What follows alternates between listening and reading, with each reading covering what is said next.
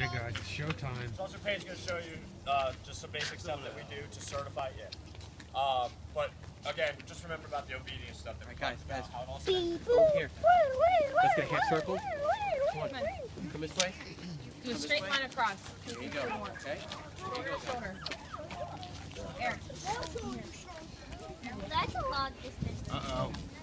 Yes, you want to work. So we do obedience, we call it obedience around the suit. The reason we do it is because if I can control the dog here, I can control him anywhere. This is his most favorite thing in the world to do right here. Okay, so, and at first it's very hard to control him.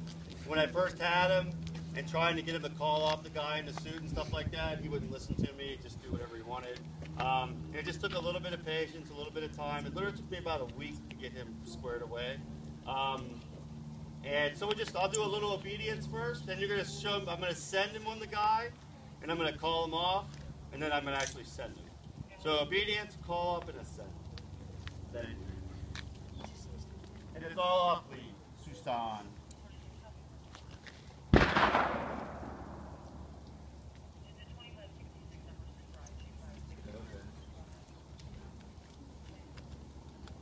Then, Susan.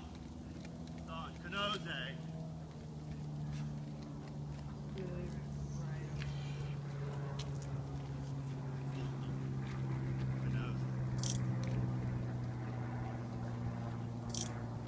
So you see what he's trying to do? He's trying to always watch the bad guy, which is good.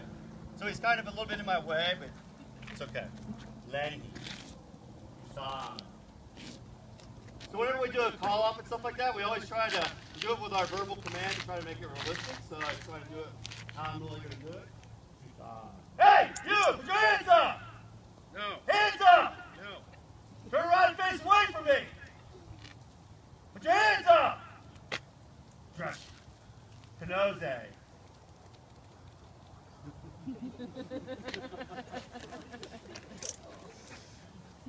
Lenny. Tucson. Put your hands up! Face away from my boys! Put your hands up! No. Tucson. Tucson. Dress.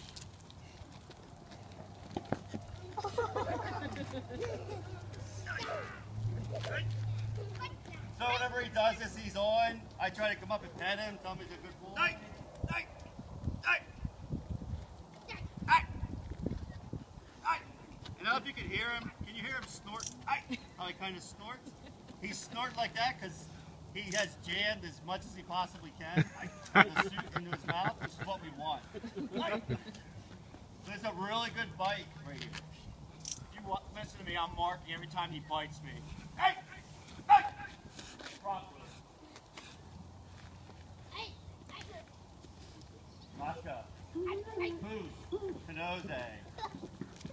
Kanoze.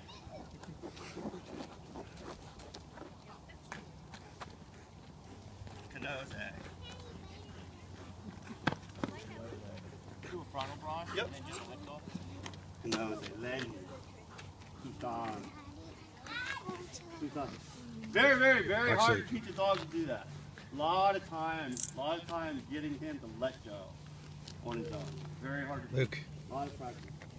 Tucson, watch, watch, watch. Here he goes. Tucson. You're gonna feel, put your hands up! Hands up! Dress.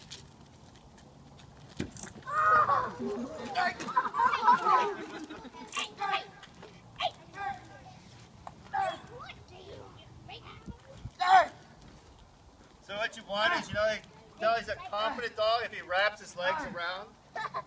He's basically saying dog language. He's saying, "Give me all you got." He's real calm. He said he keeps driving forward. He's dancing. He's dancing with the dog. Like, dancing. You don't want to kill him. Hey! Oh.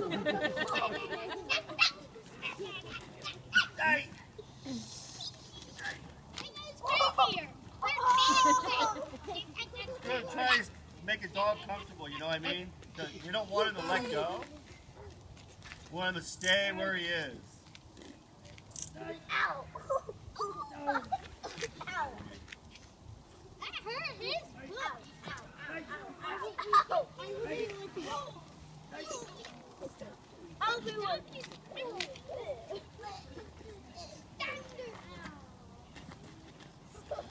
Oh, what you're gonna see now is I'm gonna lift him off, okay, instead of giving them the command to out. Okay, we alternate it. We don't tell them out every time. Um, and they can fight better if we don't tell them to out every time. They don't worry about the correction. They don't worry about you know messing up. So we just let them bite. I'm gonna go over and pop them off.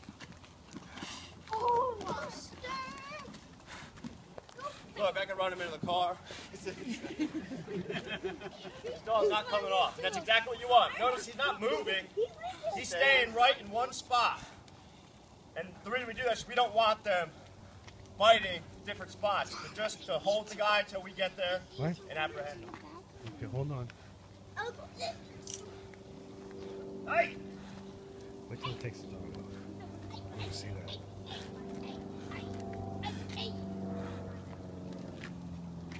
Oh! Oh! It's So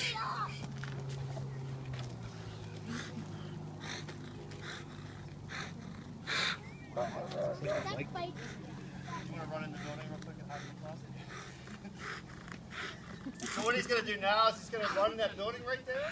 Make a big hole, guys. Everybody get on each side. Give off the same roof. The dog's in a little bit different mode right